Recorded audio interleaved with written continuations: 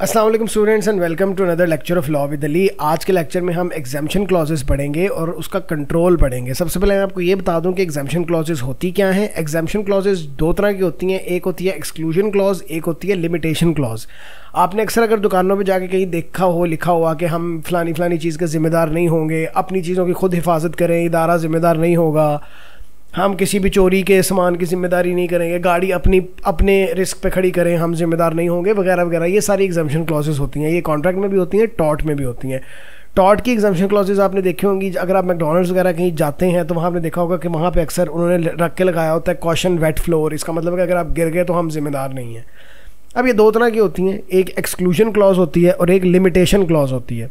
Exclusion clause का मतलब होता है कि जो दूसरी पार्टी है, उसने बिल्कुल ही अपनी लाइबिलिटी को एक्सक्लूड कर लिया हुआ है और लिमिटेशन क्लॉज का मतलब होता है कि उसने अपनी लाइबिलिटी को लिमिट कर लिया है कि हम इस हद तक जिम्मेदार है, बाकी जिम्मेदार नहीं है। अब इस चीज़ को कोर्ट्स जो है ना, वो कंट्रोल भी करती हैं। वो कंट्रोल इसलिए करती हैं ताकि कोई भी बंदा, कोई भी बिज़नेस इन टर्म्स की वजह से किसी का नजायज़ फ़ायदा ना उठाए। मतलब अगर कंट्रोल नहीं होगा इन टर्म्स के ऊपर, फिर तो हर बंदा हर बंदा अपनी, हर लाइबिलिटी से कहेगा कि जी we are not liable we are not liable तो फिर who is liable who will be liable no one will be इसलिए कोर्ट्स ने कुछ कंट्रोल्स रखे हुए हैं इनके ऊपर।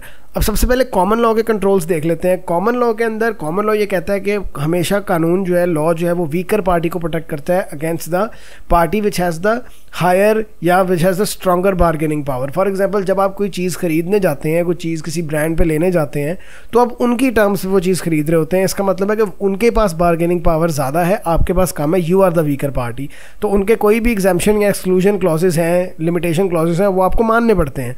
तो इसलिए कोर्ट ने एक थ्री स्टेज प्रोसेस रखा हुआ है इस्टेब्लिश करने का कि एग्जामेशन क्लॉज जो है उसको कैसे प्रॉपरली इंकॉर्पोरेट किया जाए, कैसे रिलाई किया जाए और कब रिलाई ना किया जाए। पहला पॉइंट ये कहता है कि एग्जामेशन क्लॉज जो होनी चाहिए ना, वो एक्चुअल टर्म ऑफ़ कॉन्ट्रैक्ट होनी चाहिए। फॉर एग्ज़ाम्पल वो ऐसे ना हो कि आपने प्रॉपरली उसको कॉन्ट्रैक्ट के अंदर इंकॉर्पोरेट ही नहीं किया, कहीं और लिख दिया या प्रॉपर बताया नहीं, लेकिन ये भी एक्सपेक्ट किया कि उस पर रिलाई भी किया जाएगा, ऐसे नहीं हो सकता। दूसरा पॉइंट देखा जाता है कि क्या वो वाकई जो पार्टी उसको डाल रही है, जो पार्टी उस पर रिलाई कर रही है, क्या वो वाकई उसकी प्रोटेक्शन के लिए डाली गई है। कहीं कोई नजायज़ फ़ायदा तो नहीं उसका उठाया जा रहा। मतलब उसके पीछे कोई फ्रॉड वगैरह तो नहीं और तीसरी चीज़ जो है वो ये है कि कोर्ट्स ने कुछ नंबर ऑफ़ टेस्ट डिज़ाइन किए हैं देखने के लिए कि इस तरह की जो क्लॉज है एग्जामेशन क्लॉज, ये वैलिड होगी या नहीं होगी। सबसे पहले हम रूल्स ऑफ़ इनकॉर्पोरेशन देख लेते हैं। रूल्स ऑफ़ इनकॉर्पोरेशन ये है कि सबसे पहला रूल जो इनकॉर्पोरेशन का है, वो है बाय सिग्नेचर मतलब कि आप कॉन्ट्रैक्ट के अंदर ही एग्जामेशन क्लॉज डाल लें और दूसरी पार्टी से साइन ले लें. दूसरी पार्टी जब साइन कर देती है एग्जामेशन क्लॉज पे तो फिर ये मैटर नहीं करता कि वो एग्जामेशन क्लॉज उन्होंने पढ़ी थी कि नहीं पढ़ी थी. जब वो साइन हो गया तो that means there prime of शाई बाउंड बाइट वो बाउंड है उसके ऊपर. L'Estrange versus Graucob nineteen thirty four का केस है, जिसमें एक लड़की ने vending machine cigarette vending machine ली थी इंस्टॉलमेंट्स पे. वो वेंडिंग मशीन ख़राब होगी और उसने इंस्टॉलमेंट्स देनी छोड़ दी. जब उसने इंस्टॉलमेंट्स देनी छोड़ी तो कंपनी ने सॉर्ट किया कि, भाई हमारी इंस्टॉलमेंट्स दो. उसने इंस्टॉलमेंट्स नहीं दी, उसने कहा जी, आपकी वेंडिंग मशीन ख़राब हो गई है, लेकिन कॉन्ट्रैक्ट के ऊपर ये मेंशन था कि वेंडिंग मशीन को कुछ भी हो, ख़राब हो, जो भी हो इंस्टॉलमेंट्स जो है वो आपने पूरी देनी है। और उसके उसके ऊपर सिग्नेचर भी थे तो शी वॉज़ प्राइम ऑफ़ शाही बाउंड बाइट वो बाद में ये नहीं कह सकती थी कि नहीं जी, अब मैं उसकी बाउंड नहीं हूँ।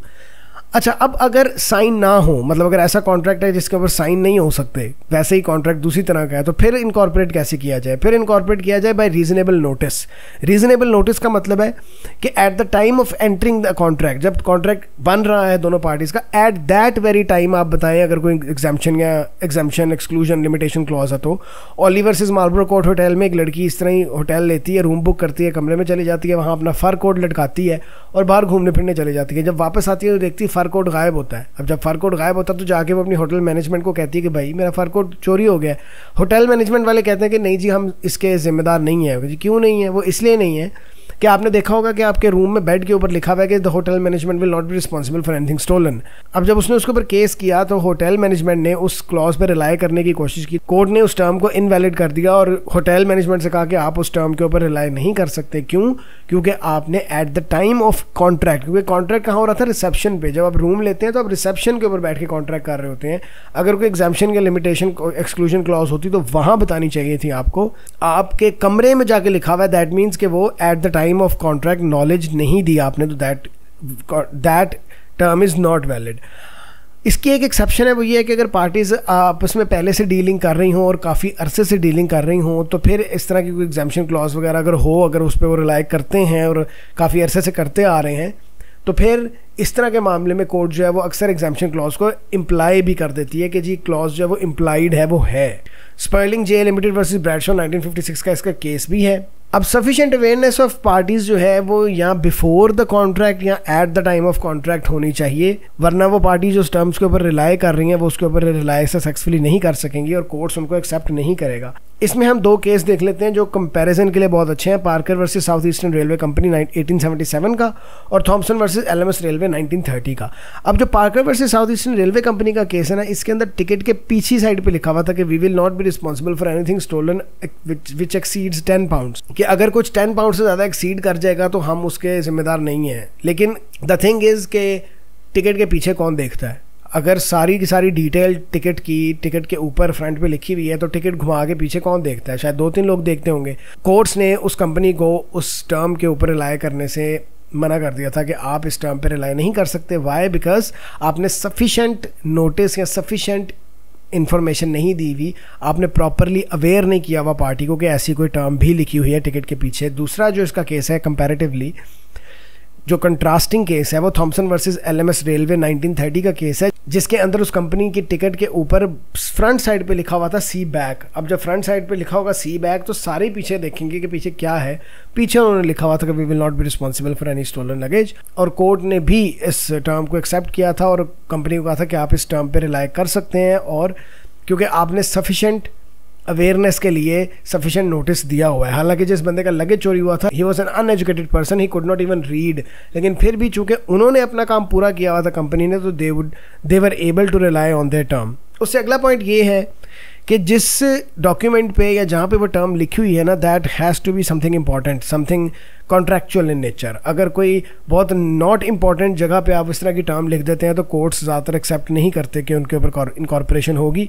इसका जो केस है वो चैपल्टन वर्सेस बैरी है, जिसके अंदर एक बंदे ने डेक चेयर्स रेंट पे ली थी, और वो जो पैसे दे के रिसिप्ट मिलती है, उसके ऊपर टर्म लिखी हुई थी कि जो कंपनी है वो लाइबल नहीं होगी अगर कोई डेक चेयर टूटी हुई निकले और उससे चोट लग जाए। डेक चेयर टूटी हुई निकली, चोट लग गई।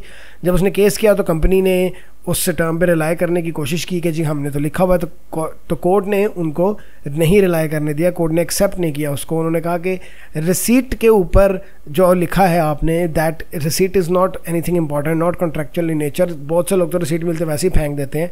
They hardly bother to read it तो that was not a good place to incorporate a term like that उसके बाद हम देखते हैं कि पार्टीज़ जो हैं, जो एग्जामेशन क्लॉज पर रिलाई कर रही हैं उनकी ये ड्यूटी है कि they have to bring the other parties attention on it कि दूसरी पार्टी को पता लगाना आपका काम है कि भाई ये इनकॉरपोरेशन की हुई है, हमने एक एग्जामेशन क्लॉज की है, देख लें, आपको पता होना चाहिए कॉन्ट्रैक्ट करने से पहले या कॉन्ट्रैक्ट करते वक्त. और ये बहुत हाई ड्यूटी है इस चीज़ को अचीव करने की उस पार्टी के ऊपर जो पार्टी इनकॉर्पोरेट कर रही है, उस कॉन्ट्रैक्ट के अंदर ऐसी term Thornton versus and parking के अंदर भी इसी तरह टर्म एक फेल हुई थी, क्योंकि वो टर्म अंदर लिखी हुई थी पार्किंग एरिया के। हालाँकि कॉन्ट्रैक्ट वहाँ हो रहा था जहाँ पार्किंग होती है, जहाँ गाड़ी खड़ी होती है और जहाँ टिकट ली जाती है एक्चुअल कॉन्ट्रैक्ट वहाँ हो रहा होता है। अंदर नहीं हो रहा होता, लेकिन वो अंदर एग्जामेशन क्लॉज लिखी हुई थी कि we will not be responsible for any damage to the car और पर्सन वट ठीक हो गया।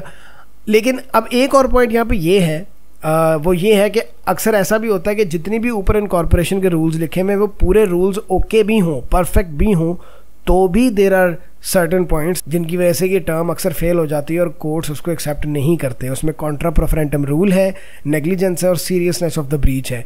ये तीनों पॉइंट्स हम अगले लेक्चर में पढ़ेंगे। तब तक के लिए बाय